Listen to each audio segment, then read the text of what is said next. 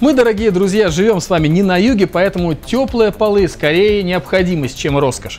На этапе строительства их можно сделать и водяными. О том, как это сделать правильно, нам расскажет наш эксперт Владимир Румянцев. Привет, Володь. Добрый день. Сборка теплых полов э, начинается со сборки э, такого модуля. То есть это блок смешения называется. Он подсоединяется к котлу, это вход у него. Дальше идет предохранительный блок, это клапан предохранительный для сброса давления, клапан для отвода воздуха и манометр для контроля давления. Дальше идут запорные краники, идет регулятор по температуре, краник регулятор температуры, насос циркуляционный. Дальше идут термометры э, для регулировки температуры на входе и на выходе. Разница между ними должна быть не больше 15 градусов. Вся разница регулируется также краником температуры.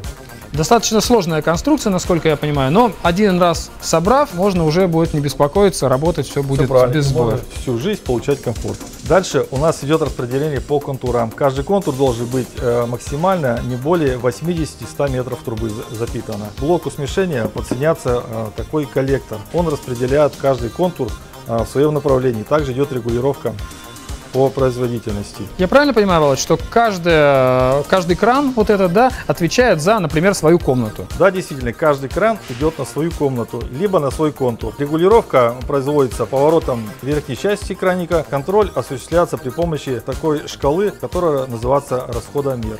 Володь, давай расскажем про сами трубы, да, которые укладываются в полу и обеспечивают, собственно, передачу тепла поверхности. Да, трубы э, имеются двух диаметров. В основном это не ниже 16 мм. Причем трубы замеряются по наружной части. Сама укладка контура должна быть не больше 80-100 метров.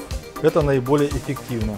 А скажи, материал труб. Э, я знаю, что, например, пластик менее теплопроводен, чем железо. Почему э, используются пластиковые трубы? Ну, пластик, он э, в целях гибкости и э, надежности лучше. То есть, если медную трубу, конечно, она лучше будет производить теплопроводность, э, то пластик, он лучше будет сохраняться, потому что полы заливаются один раз и навсегда. То есть, пластик в этом плане, он лучше показывает себя.